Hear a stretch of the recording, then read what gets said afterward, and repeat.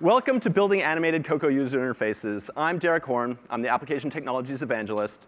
And uh, being an evangelist, over the last year, we've spoken to thousands of developers about all of our new Leopard technologies. And overall, we're getting a really enthusiastic response from all of our technologies in Leopard. And it's really great to see. But hands down, the technology that more developers are looking for than any other has got to be animation. This is the technology that is really driving more developers to writing the next version of their applications for Leopard only. So what we've done today is we've broken animation up into two different sessions. Today we'll present animation from kind of the view level, the user interface level. We'll take Q&A, and then we'll give you about 15 minutes to jockey for position, get better seating, and then following that, we'll present uh, animation from the core animation engine layer, how to bring those APIs directly up into your application and give it that really immersive experience. We also have um, coding head starts for core animation. These coding head starts can be found in your WWDC attendee area, and they include a video, a README, some tutorials, and sample code. One of the sample codes, for instance, displays how to use CoverFlow in your applications. So before we start talking about animation, we should really define what animation is. And to do that, I turn to the macOS 10 dictionary. And it says animation is the state of being full of life, vigor, liveliness. It comes from the Latin term animare, instill with life. And I think animation really provides the means to bring the user experience of your applications to life. It allows you to think about the way that you portray your data, the way that you're interacting with your users, and, and really change that. Um, I think as developers, we tend to use lists and tables a lot. And this is kind of a paradigm that works great for developers, but may not always be the right paradigm for our users. So at the same time, when you consider adding animation to your application, don't go too crazy. Keep things quick, meaningful, and something that really adds value to our users. So overall, I wanted to talk a little bit about the overall architecture. And when I think about the architecture, the heart of animation is really the core animation engine. The core animation engine really relies on layers. Now, when I think of layers, I think of layers as these transparencies that sit on top of my screen. I render my content onto these layers. I can then move them around. I can shrink them, grow them. I can maybe change the z order by putting other layers in front of them. I can even apply these complex matrix transformations to them to make these layers swirl around the screen. And we really get great performance out of this because we don't have to re-render that content. Once it's rendered onto that layer, we keep it cached. Now, we further improve on that performance by letting it sit directly on top of OpenGL and taking advantage of the hardware acceleration that the GL pipeline provides. And then we further improve on that performance because now all the machines that we ship have at least two processors on them, so we allow core animation to run in its own thread. And then even to further improve on that, we rely on the multi-threaded OpenGL layer. So you can see that we're really trying to eke out the best performance we can from this whole pipeline. But at the same time, Core Animation is also this great graphics unification layer. And really what I mean by that is now we can start to render different types of content onto these layers. We can render QuickTime, OpenGL, Quartz Composer, text. We can render pictures or controls onto these layers, and we can kind of coalesce them all and flatten them so we can have an OpenGL background, controls in the foreground, or text scrolling above that. Now, in the past, this was pretty difficult to implement. Uh, one way of doing that would have been to create these child windows, these, invis these invisible child windows, and stick them all right next to each other. But then that really meant that we had to add logic into our code to keep track of these extra windows. And now we're giving that all to you for free. And then what I really think is interesting is we brought all of this power that the core animation engine provides for you, and we brought it right up into the view layer. And that's what we're really here to talk about today, is adding animation to your existing user interfaces and to your views. And to, and to do that, I'd like to welcome James Dempsey on stage. Thank you, James. Thank you, Derek. Good afternoon. How's everybody doing this afternoon? That bad, huh? How's everybody doing this afternoon? That's uh, somewhat better. Okay, um, my name is James Dempsey. I'm an engineer working on the Cocoa frameworks, and today we're going to be talking about building animated Cocoa user interf interfaces. So let's get started. So we've noticed that over time, user interfaces are becoming much more fluid, much more cinematic. We saw that uh, going all the way back in the original version of Mac OS 10 with the uh, magnifying dock and the Genie effect, and all the way up through Leopard, even in bigger scale with things like CoverFlow and Time Machine. Um, but we're here talking specifically about animating Cocoa user interfaces. And in Cocoa, NS Windows and NS Views are the central classes that we use for implementing user interfaces. So we want these wonderful, rich, cinematic animation experiences, and we're using Cocoa with Windows and Views. So what we've done in Leopard to make it easy for you is to add a simple, flexible API to AppKit for animation. Now, you may have heard of this thing called core animation, maybe once or twice already. Um, we have this wonderful new underlying graphics technology called core animation. And another thing that we've done in Cocoa and Leopard is to harness core animation and expose its capabilities and functionalities to NS views. So what are we going to talk about today? The first thing we're going to talk about is how ridiculously easy it is to animate windows and views. And I use that word very specifically because when you see the half line of code it takes, that's ridiculous. Um, the other thing we're going to learn about is how to create and use views that are backed by these core animation layers. And we'll get to that, and that we'll find is a whole line of code. Um, and so with this one and a half lines of code, you're able to take all of that underpinning of OpenGL and then core animation built on top of it and have that in your application. And then we'd have an extraordinarily short presentation. But these will get you all of the default animations that we have built in, um, however, there's a lot more that you can do. And so we're going to spend the rest of the time, or a good chunk of the rest of the time, talking about creating and using custom animations. So keyframes following a path, grouping animations, using core image filters and transitions. Finally, we're going to talk about mixing various content types in your application. And then we'll do some usage tips. So we're already, what, a few minutes into an animation session without a demo. So I think we uh, need to rectify that immediately. And so I'm going to have Troy Stevens, a coworker of mine on the Cocoa Frameworks team, come up, and he's going to show a little app called Cocoa Shuffle. Now in iTunes, there's a lovely feature called Party Shuffle, which is kind of this never-ending playlist. And we thought that using the new Cocoa scripting bridge that lets us talk to iTunes, um, we would write a small application that more visually demonstrates what songs are coming up in your shuffle. So let's take a look, Troy.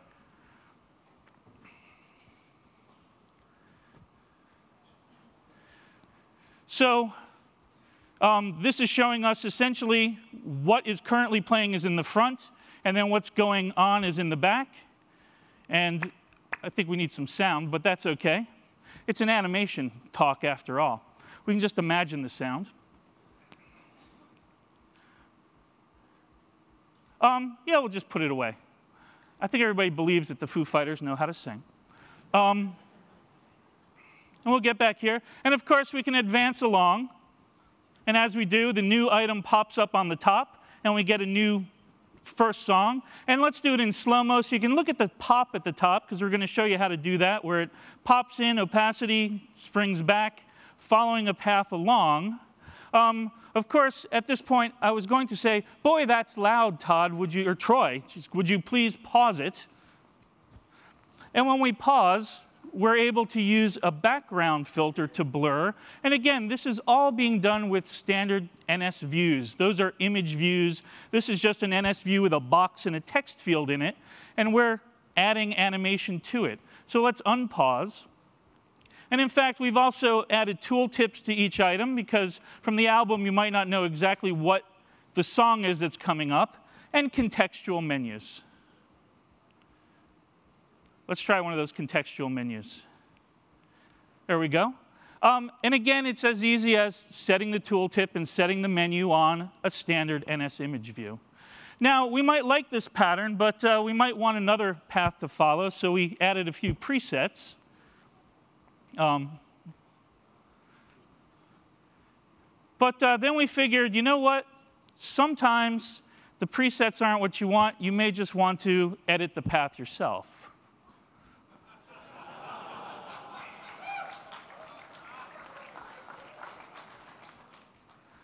And so we added a little Bezier path editor in here. And of course, it's all live. It's all advancing right from iTunes. You see it moving in the background there.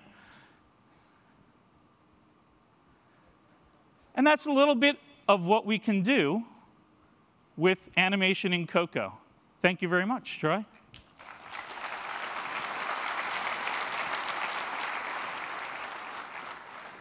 I'd also like to thank uh, Kevin Perry, our intern, who did a lot of work on that demo over the last week and a half or so. All right, so we hear a lot about animation. What I want to do is kind of frame things in terms of what are the different use case scenarios, who are the major players as you're thinking about adding animation to your Cocoa app. So um, we're going to be talking primarily about things happening in AppKit. Um, specifically NS Views and some animation API that we've added. And then underneath AppKit is this wonderful graphics framework, Core Animation. And out of all of Core Animation, the things we're going to be talking about and referencing today are layers, as well as animations which help us define custom animations. So let's focus first on NS View, which is not new to the party in Leopard. We've had it for quite a while. And NSView provides a lot of functionality. It has all of the Cocoa controls are NSView subclasses or NS control subclasses, accessibility support, printing, um, complex event handling, like dealing with the responder chain, drawing the focus rings, handling full keyboard navigation, um, dealing with drag and drop. We saw tooltips and contextual menus. Um, cursor rects, tracking rects. There's a lot of interface that's part of NSView, a lot of the interactive experience um, that you want to maintain. You want to take advantage of that. You don't want to write your own text field from scratch. Doesn't make a lot of sense. So what we are doing is taking all of these views and making them animatable. So the second thing we've added, or the first thing we've added in AppKit, is an animation API. And the first scenario might be just basic common animation. I have a window, I need to resize it, and I want that to animate. I want to move a view from point A to point B. And to do this, we don't necessarily even need to bring all of core animation into the picture. We can simply use the existing AppKit classes and the new animation API to have some basic animations occur. However, Scenario two would be using what we called layer-backed views. We'll talk a little more in a moment, but again, you're using the AppKit API, but behind the scenes, we're using the power of core animation for all of the drawing, rendering, and animating. As well, you can continue using those AppKit animation APIs just as you had in the first scenario, but now it's bringing all of core animation to bear in the background. This scenario three, once we've done these default animations, you may want to do custom animations similar to what we saw in that Cocoa Shuffle um, demonstration. And in this case, you would be using, in addition to the AppKit APIs, you'd also be using CA animation and its friends, its subclasses, in the core animation framework to help define those animations. And there's a fourth scenario, which is sometimes you may just want to take one NS view and then do all of your animating down in core animation. Um, of these four scenarios, the first three we'll be talking about in this session. The next session will be focused a great deal on the, on the fourth scenario. Okay. So as we talk about animations, and let's get to getting things done, um, we're going to first talk about some fundamentals, and then we'll get into custom animations. So the fundamentals. In general, animation is fairly straightforward. objects have properties, we change the value of the property, and we want that object to then change gradually over time rather than jumping to the new value. Now in Cocoa, we have accessor methods, been using for quite a long while, to set new property values. Um, so we don't want set frame just to suddenly start moving things around where developers have not been expecting that previously. So we needed a mechanism for setting a new property value as well as triggering an animation.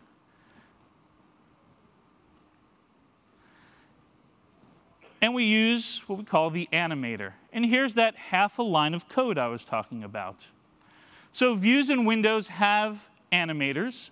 Instead of talking directly to the view or directly to the window and telling it to set its frame, for instance, instead you talk to the animator and tell it to set the frame. That will trigger the animation as well as set that value in the view that it's a proxy for. Now, these animators are very handy. You can take one and you can hand it into any API that would normally take the original object, and any message that isn't animated will just pass it through directly to the viewer window.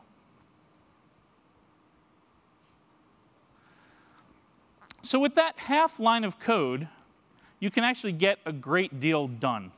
Um, for all animatable properties, there are already built-in default animations. They're linear animations going from one value to another. They all have a default duration of a quarter second, so they're nice and snappy. And by default, they're all grouped into one event loop cycle. So if in the course of an event you happen to move or change a few different items, they won't start and stop at various different times. They'll all be synchronized to the event cycle. And this is all happening with that half a line of code. Now, you might, though, want to change some items. And one that you may want to change specifically is the duration. And we've introduced a new class in uh, Leopard called the NS animation context. And essentially, we begin a context or begin a grouping and end a grouping. Anything within there will be uh, performed at the same time, and we can also use that context to set the duration. And in fact, this is a very handy way to get that slow motion effect when you hold the shift key down, so you can wow people with the slow-mo kind of feature. And we'll show you how to do that in just a couple minutes. So I want to just emphasize that the animator and the animation context, they're general additions to Cocoa for animating. Um, so regardless of how you're rendering the content, um, for the basic geometry of views and windows, as well as a Windows alpha value, you can use just Animator and the animation context um, and get lovely results. However, we do want to take advantage of that core animation underneath us. So let's talk a little bit about that. Core animation layers are at the core of core animation. Um, they are analogous to views. They're rectangular areas. They have a hierarchy or a tree of sub-layers. They are buffering their content per layer. We can do all sorts of nice visual effects like applying filters like the blur filter you saw a little earlier, and transitions, shadows, and masking, combining content types. So we want to use these layer things. In AppKit, we call using a layer a layered, or to back a view, a layer backed view. So here I have a stylized segmented control and an image view, and the little blue is just representing that they're part of AppKit, they're AppKit views. And when I'm making a layer backed view, essentially what I'm doing is literally creating these layers in the core animation context underneath, or core animation framework underneath.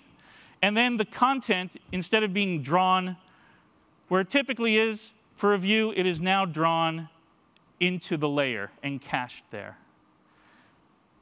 And so we call these layer-backed views, gives us those per view content buffering. In addition, some of the more, uh, or some of the visual effects of, or all of the visual effects of core animation come into play. So in addition to the content buffering, we also can apply core, uh, core image effects Like here, we've applied a glass filter to the image. We've changed the alpha value of the uh, segmented control. Um, and we can apply them and just have them set, or we can animate them. So in this case, we're just slowly coming back. Core animation gives us asynchronous animation um, happening on another thread, as well as we pick up the ability to do transition animations when we're switching subviews, and we can combine different content types. So there's a lot that we can pick up from an NS view if it is layer backed. So how do we make this happen? We uh, call this line of code. View set wants layer, yes. Um, and it really didn't strike, I've been working with this API, and it really didn't strike me until I was sitting in the Mac OS 10 State of the Union yesterday. And Bertrand and all, they're talking about, you know, going on at the OpenGL layer and all the work they've been doing down there and the work they've been doing in the, in the core animation layer and all the work that's been going on there. And the full magnitude didn't strike me that there's all this work going on and for me to get that to happen with my view hierarchy, I basically have one line of code where I say, yeah, I, I want that. Um, and I was like, that's kind of amazing. And in fact, if we really don't want to write that one line of code, we also do have a checkbox in Interface Builder, which puts us back down to a half line of code. Great. Um, so, as sometimes happens, that one little flag has big effects. So what happens when we do that? Check that off. A lot's going on underneath, even though we've just made a little tweak. So AppKit is mirroring your, that entire view subtree into a tree of layers. However, from your standpoint as the creator of a view, draw rect is still being called when drawing needs to be done. You still use set needs display, and it passes the, does the appropriate thing in the core animation framework to make sure that that layer that's backing your view does the right thing. Um, and view properties are basically, as you change them, they're sent down to the layer um, as layer properties. And then if there are non-layer properties that we've made animatable, um, AppKit will handle that animation. Um, this last bullet point, rather than trying to explain it, let's just talk about it looking at a picture. So we have a view hierarchy. And that wants layer very much expresses not that you're necessarily, that your preference is going to be respected or not respected in this sense. When I say set wants layer on any particular view, that view and all of its subviews in the view hierarchy are backed by a layer. And this is true then if, say, higher up in the hierarchy, somebody wanted a layer, then from that point on down the tree, there it is, we would see backed by layer. However, if, say, that first view decided, no, I no longer want to be backed by a layer, it's already part of a hierarchy that does want a layer, so it retains its layer backing. Now, Another nice addition to Interface Builder is that when you're looking at the Animations tab, for any selected item, it will show you the entire view hierarchy, and it will show you if anywhere in the view hierarchy in Interface Builder somebody wants a layer. And I think that's a very handy feature.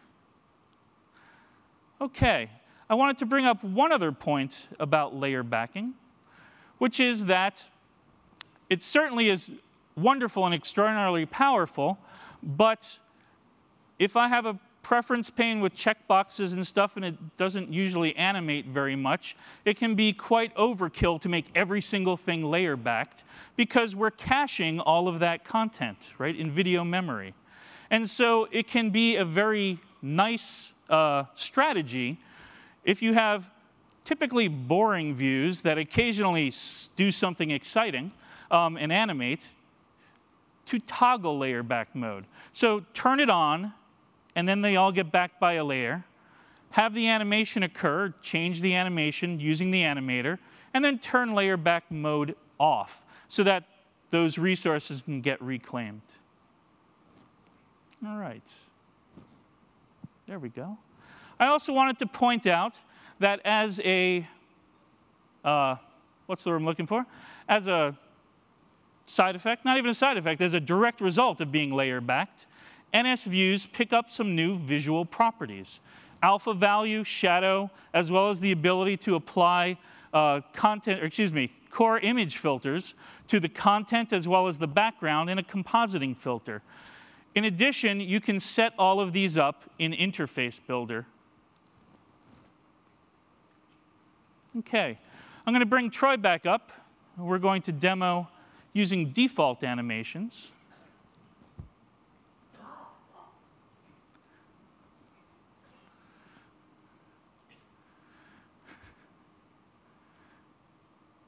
Everybody likes the shuffle.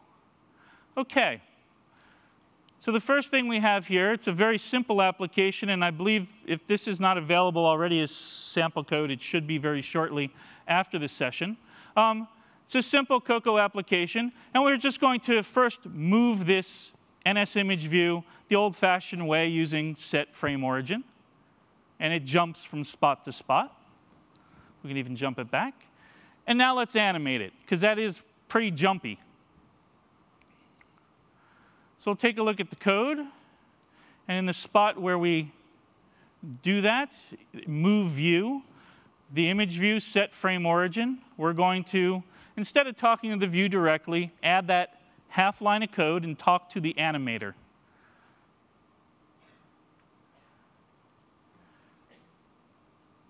Then we'll recompile. And now we've added animation.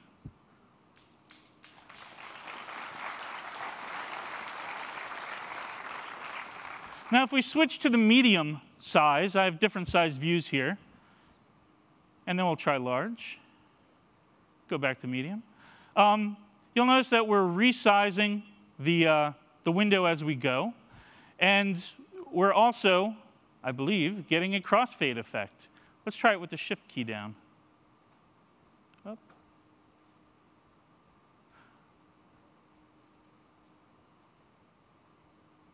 Ah, we were not getting a crossfade effect because we were not wanting a layer. When you run into a situation where you're not seeing the animation that you're expecting, because it does happen, the first thing to check is, is it because I forgot to make myself layer backed? Now that we do want a layer, we're getting that lovely crossfade effect. And try it with the shift key so we get that slow-mo effect. And so we saw the line of code that we wanted a layer. Now let's take a look at the line of code that's both changing the size of the window and the line of code that is doing the switching of views. So back in Xcode, in switch view, most of the code is just figuring out what the new and the old view are based on what was clicked, figuring out the new frame. But then the core of the code is there. We begin and end in animation context grouping. We only need to do this because we want to implement this shift key slow-mo effect. We do that in two lines of code where we check for the shift key, and if so, we bump the duration up to a second. And then the core of the work is we tell the content view to replace its subview, the old view with the new view, but instead of talking directly to the view, we talk to its animator. Similarly, when we resize the frame of the window, we don't talk to the window directly, we just talk to its animator. And so in that little method, we're able to get that very common effect that we see with the animated resize and the subview swapping. Thank you very much, Troy.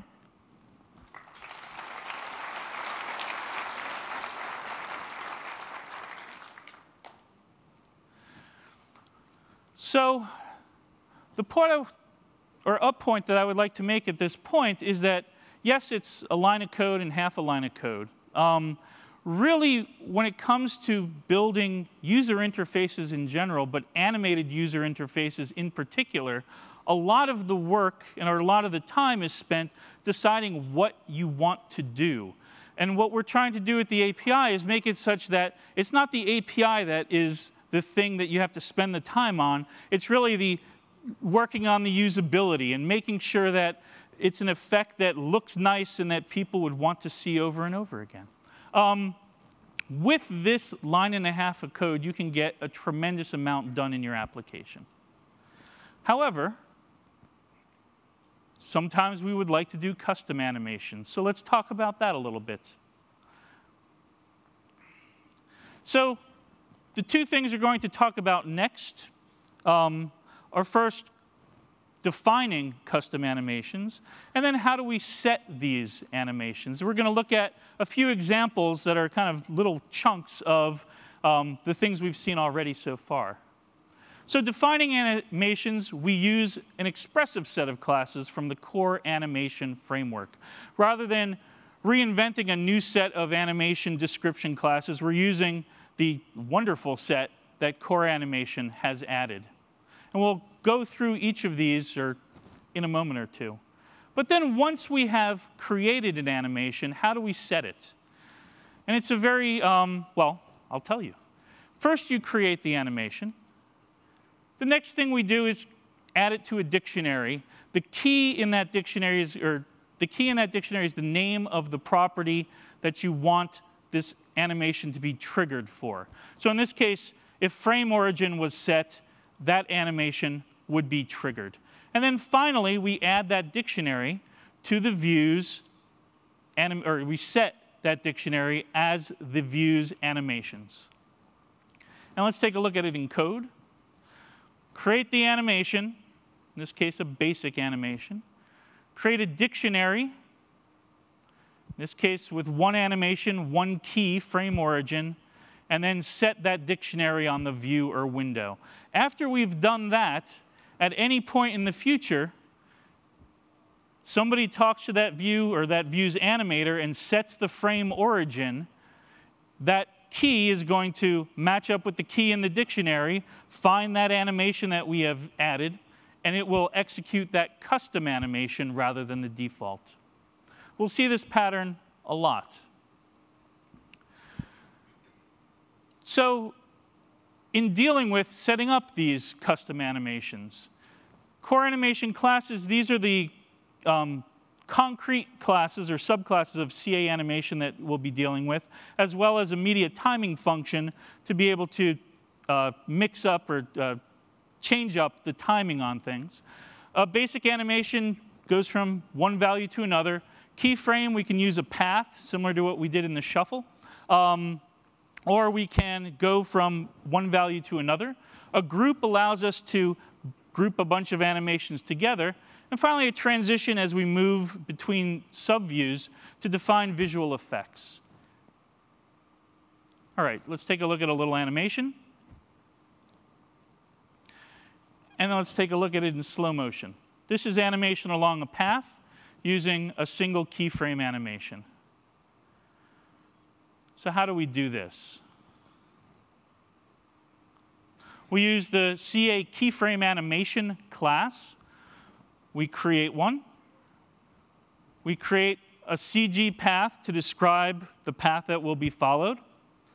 We set the path in the animation, and then we release the path. Um, I would like to point out that in this case, you'll notice that we're just making an animation. We're not tying it at the moment to any particular uh, key or property name. And then once we create it, we're going to set it. Again, we make that dictionary. We hand in that custom animation.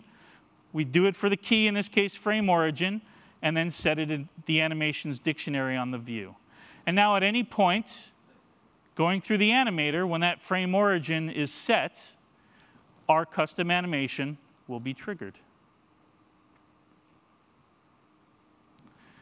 Let's look at a more complex one, that pop animation. And there are two things happening here. We'll play it in slow-mo. Um, there's the opacity going from 0 to 1, as well as the size going from 0 to larger than the end result, and then popping back.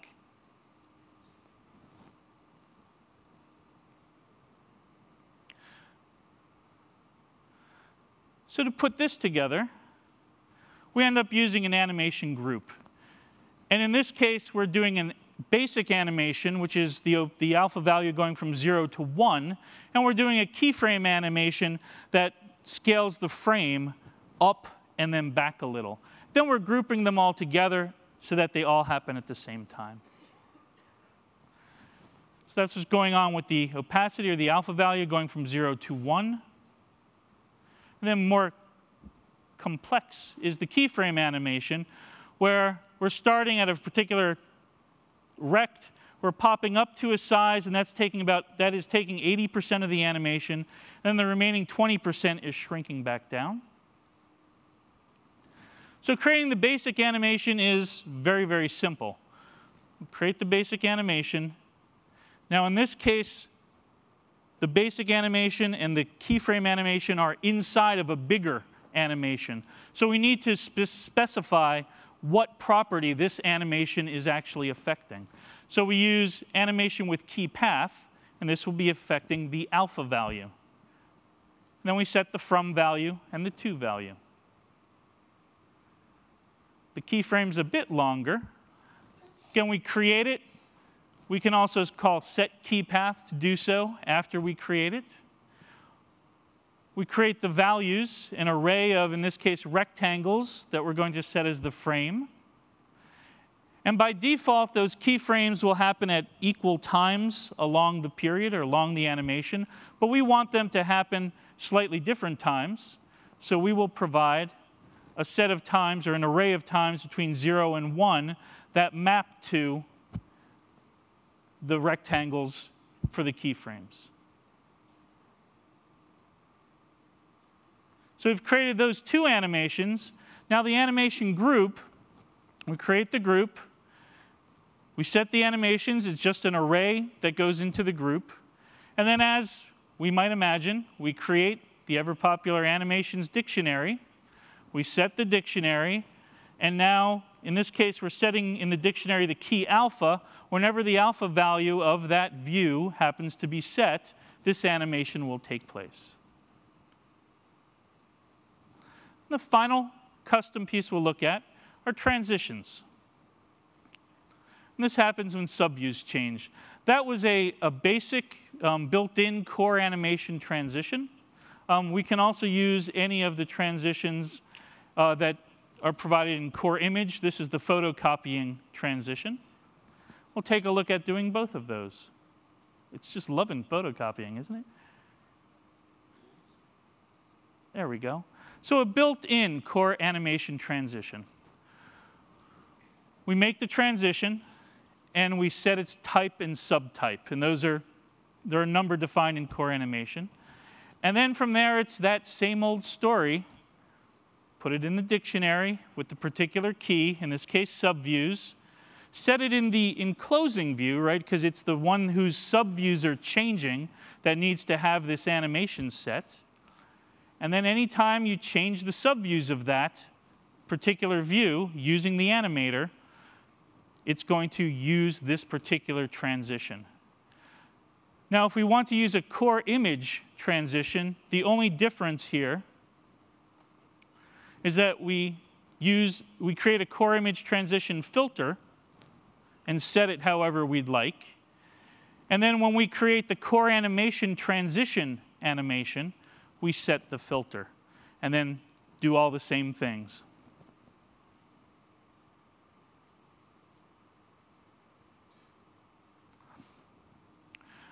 So, um, at least for me, the, what I see when I'm doing custom animations is that it is very much deciding what it is that you want to happen.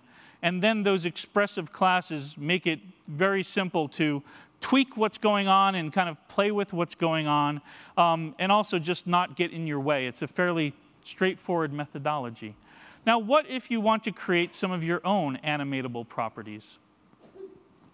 Um, before we talk about that, I just want to point out that NSView and NSWindow do have a lot of built-in animatable properties. Um, so it may very well be that the thing you're thinking you might need to customize already exists. Um, so keep that in mind. And then also to really talk about customize or making your own properties, we need a little bit more formal discussion of the uh, API that we've added in Leopard. that animator that we've been talking to and that animations dictionary, the ability to set it and then retrieve it from a view or a window, are actually part of another protocol, the NS Animatable Property Container Protocol. Um, essentially, possible to be adopted by any object that has properties that could be animated. Now, we're familiar with the first three the animator, we've been talking to him all time. Um, animations, getting and setting them, that dictionary to define custom animations. Let's talk about those last two. And so, how are these animations triggered? You talk to the animator, and then it looks for an animation. So, that animation for key method, you don't call it, the framework calls it to retrieve the right animation for a particular key. And the first thing it will do is look in a custom animation or that animations dictionary if one is set on the object. If it's not set on the object, it will call that class's default animation for key to try to find an animation. And in fact, that's how all of the default framework animations show up. And so when animation for key is called after you've talked to the animator, it'll first call that animations method to get whatever dictionary may have been set. If none is set or if there's no value in there for that particular key, it'll go on to ask the class for the default animation for that particular key. So that said, implementing a custom property is largely a two-step process. First, define a custom property. It needs to be KVC compliant. Um, KVC setter method. It's also important to note that the setter method should trigger needing display or should tell the view that it needs to redisplay itself. And then second, provide a default animation for that property by overriding default animation for key. Now, once this is done, you can specify custom animations and set them for that key in an animations dictionary. Um, you can treat it pretty much like any other animatable property. And AppKit for these properties will be able to automatically, um, with a basic animation, interpolate basic scalar types. So let's look at an example. Here's the KVC compliant setter method. Important thing to note is the self set needs display yes, so it can redraw itself as it's animated. And then overriding default animation for key. And so all that's happening here is that if the key coming in is our custom property, we'll return some default animation.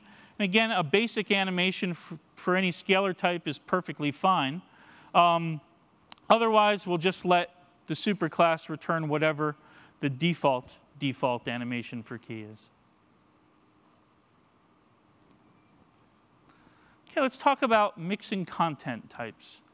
So in the past, if you have had, say, an NS OpenGL view, and you've tried to put Cocoa controls as subviews, that's been something that hasn't been directly possible.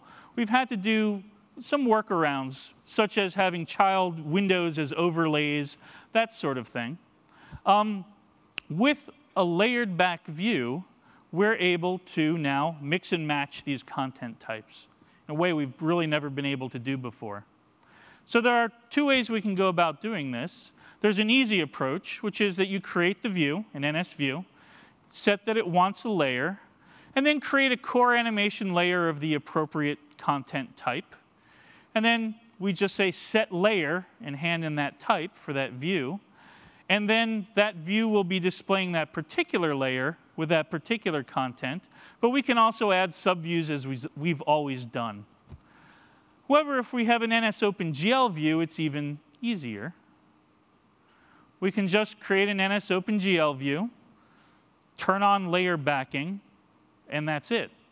We can then just add subviews, Cocoa controls, Cocoa widgets to that OpenGL view as, a, as subviews, um, just like any other view. And to demonstrate this, I'd like to bring Troy out.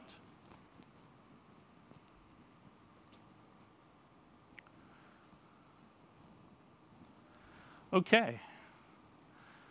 So we have here is a rotating Earth.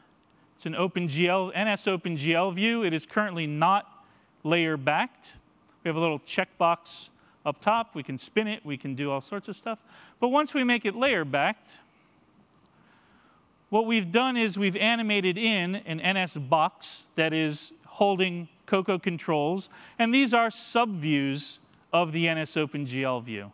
They're not a parent or child window. They're not some other done overlay, just a simple item. And then as we adjust the items, like let's do the roll, maybe the camera distance a little, we're affecting that OpenGL view.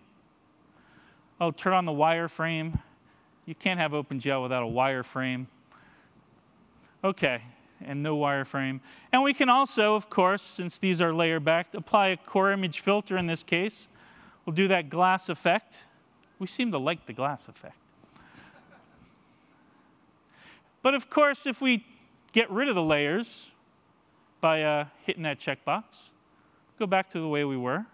Those layers get collected up in the background, they're gone. And then let's turn them back on, because there we go.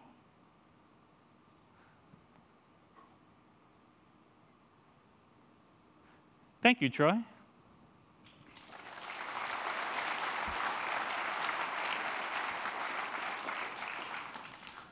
So the other thing that I actually did want to mention is that um, all of the demos, as well as those animation movies, um, and hopefully even Cocoa Shuffle, we'd like to get to you as sample code.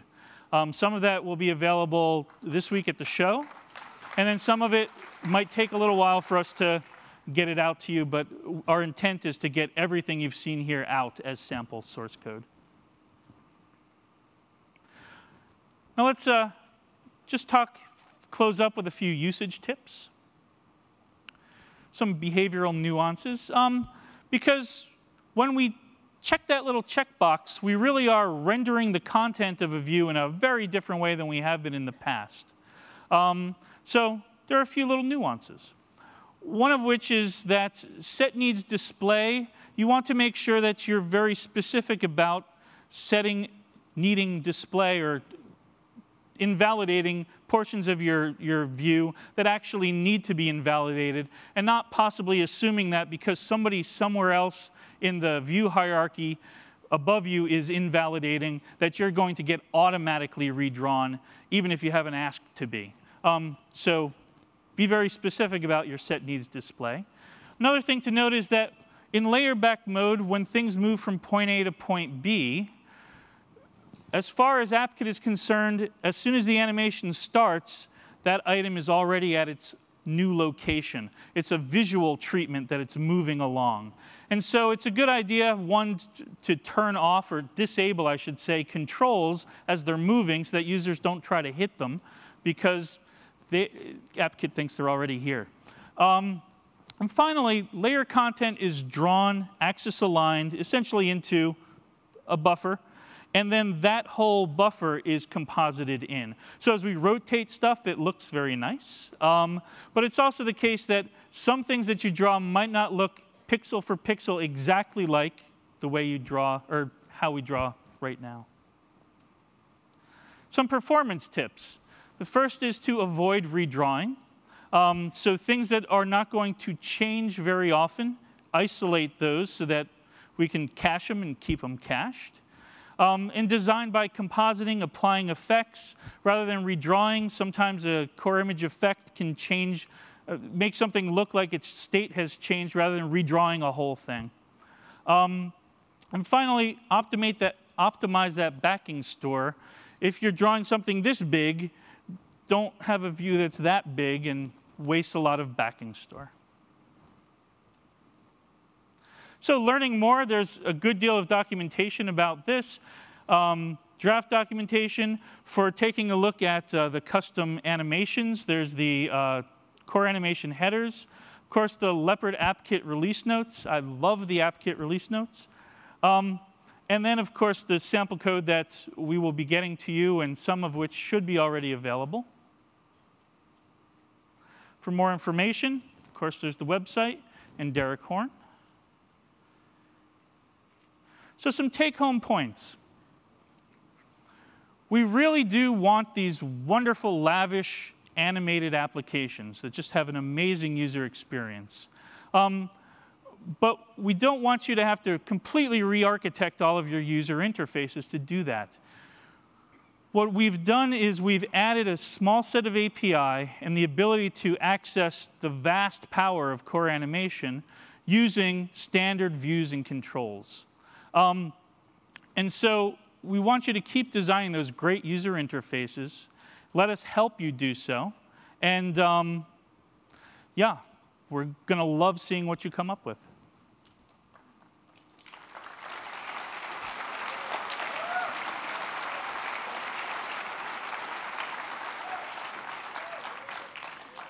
And um, from time to time in the past, um, they've let me sing.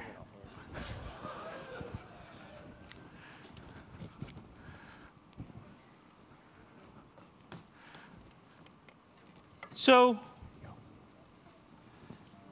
in the past, we've done little songs, or we've done fun songs about things like Model View Controller, uh, Model and Man, um, the now somewhat obsolete uh, Cocoa Memory Management song, Hold Me, Use Me, Release Me.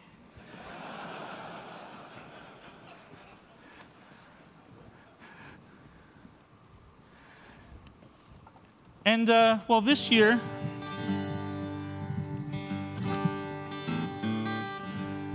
we, uh, well, let's just put it this way.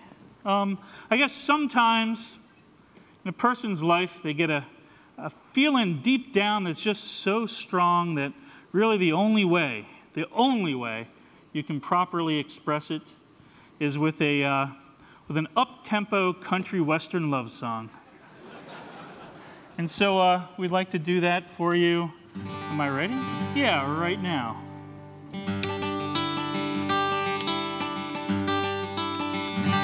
I love you. I love you. Thinking back on all the things that we've been through. Sometimes I take for granted all those many things you do. So let me take this moment just to say that I love you. And it's you they say opposites attract, and so I guess it makes some sense. Well, I'm not big on parties, but you love handling events. I can't draw Tippy the turtle, no, nor Pete the pirate, too. But once you lock your focus, there's no drawing you can't do. I love you. I love you and all the subclasses in your retinue. Look it up. Sometimes I take for granted all those many things you do. Let me count the reasons why I say that I love you. Well, you got buttons and sliders, split view dividers. You never sent a rumor in AppleInsider. Handling the drag drop, spinning with the phone top. Tooltips is flip, makes you do the flip flop. Handling the menus, recommend. Well, you know, back that up a little bit. I, I forgot to tell you all a little earlier that, uh, well, this is a beta version of the song. Now, let me tell you, it's feature complete, mind you, but I won't have the I won't have the words memorized till October. So bad. So bad.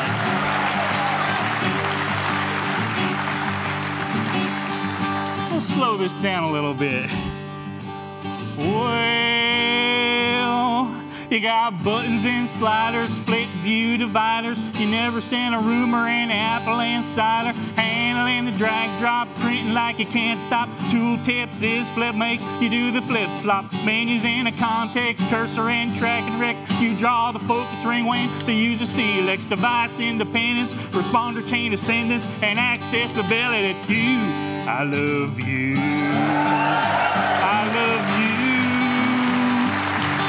It's a simple love, not much hullabaloo. I once sent a greeting card by Maya Angelou. The words were mighty flowery, but the gist was I love you. Well, I don't like to say you're easy, I regard you with respect. But it's easy to start drawing, I just implement draw rect. And then when something changes, I just say set needs display. You record what needs updating, then redraw it as you may. Well, on that keyboard over yonder, there might be a typing sound. If you are the first responder, you'll be a message with key down. As for handling a mouse that's been running around your bounds, I can build a better mouse trap with mouse up, mouse drag, mouse down. I love you. I love you. That's why I have your API as a tattoo. You've added lots of features, especially since 10.2. I'm running out of places to display that I want you.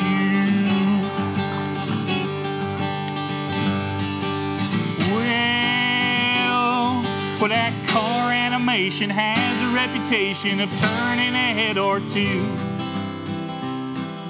It's so dang good, stuck it under the hood of every layer back in its view. I love you. I love you. Let me tell you one thing more just on trade new.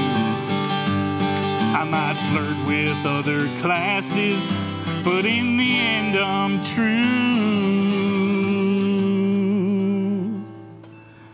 Cause you won't be drawing a damn thing if you ain't got an NSView. I love you.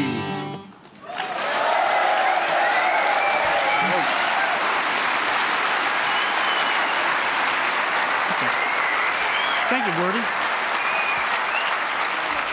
Thanks. Well, stay up here. I'm going to introduce you. Gordy.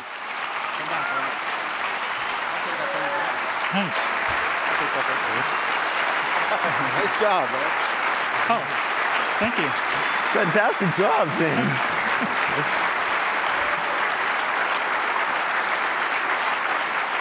Oh, thanks.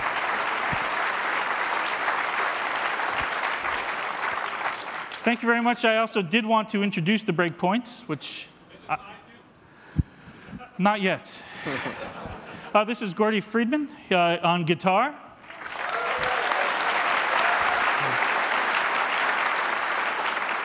And Victor Alexander on keyboard.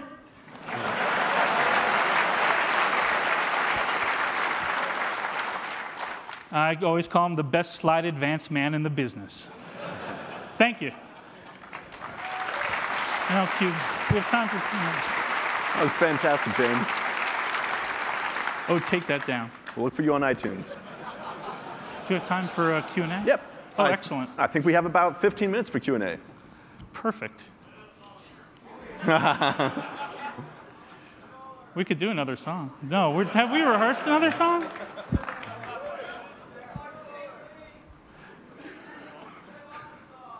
Oh dear. Well, let's do hold me, use me, release me. What the, yeah. But we'll do it quick, There you go. Encore. unless you want some Q&A. What What would he say? If you do, there is always the Cocoa Labs Wednesday and Thursday. Is this in G? This is in G. Actually, you play, I'll sing, because that's what happened on the first song anyway.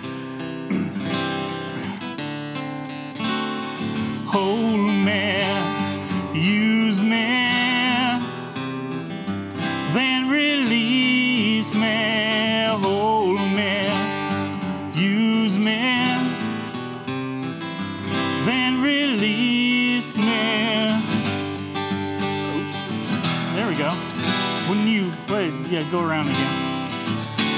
Yes, we rehearsed this thoroughly. One more time. Here we go.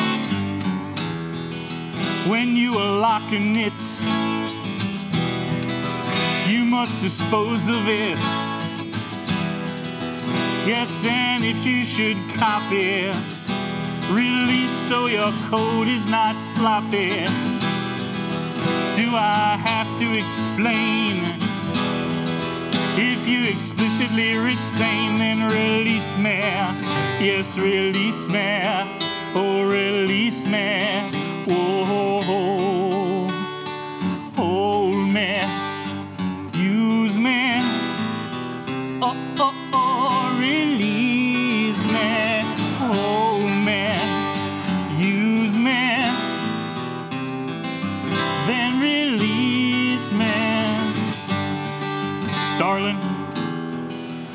if you don't want me anymore, please, please just let me know. I've been I've been sitting out here just waiting, just waiting to hear from you.